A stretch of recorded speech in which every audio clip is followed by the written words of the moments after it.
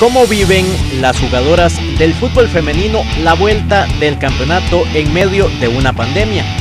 Y una lista estricta de protocolos. Andrea Godínez es parte del equipo de Suba Sports de Pérez Celedón y relató cómo se han venido adaptando a esta nueva realidad. Al principio fue muy complicado eh, adaptarnos a, los protocolos que, que nos puso el Ministerio de Salud y la UNIPUT pero poco a poco fuimos agarrando un rol y, creo que hasta el día de hoy, a pesar de todo, lo hemos cumplido muy bien y, y ojalá podamos seguir cumpliéndolo.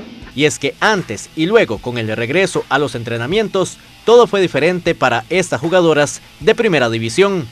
La práctica deportiva ha cambiado muchísimo.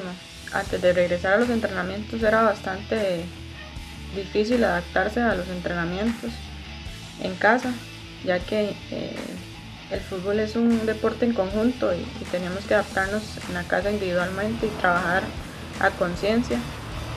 Luego que regresamos a los entrenamientos fue un poco diferente también porque vemos que teníamos que mantener la distancia en los entrenamientos, no podíamos trabajar en conjunto, sino individual y lejos, manteniéndonos a dos metros. Pero es por, por el bien de nosotros y de, las compañeras. En cuanto a la parte deportiva, las generaleñas suman dos derrotas contra Sporting y el Herediano. Han sido rivales bastante fuertes, de mucha experiencia en selección nacional y, en el extranjero, pero creo que eso no es una excusa para nosotros como equipo. El equipo tiene que seguir trabajando ya que en los dos partidos anteriores se cometieron bastantes errores no aprovechamos las, que tenemos. El siguiente rival de Suba será Pocosí. El partido está programado para este domingo 12 de julio a las 2 de la tarde en el Estadio Municipal. Para el siguiente partido eh, esperamos un resultado positivo. El equipo está trabajando para eso.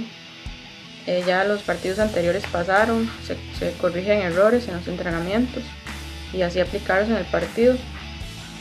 Así que esperamos que que las compañeras nos conectemos entre sí, el equipo, junto con el cuerpo técnico y podamos sacar un triunfo, que es lo que necesitamos en este momento. Así se vive el regreso del balompié femenino de la máxima categoría.